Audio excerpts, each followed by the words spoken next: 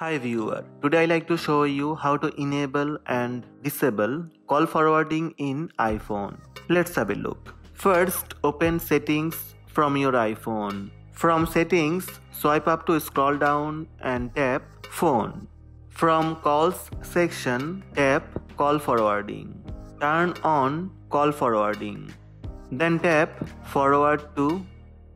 Type the phone number where you want to forward your calls.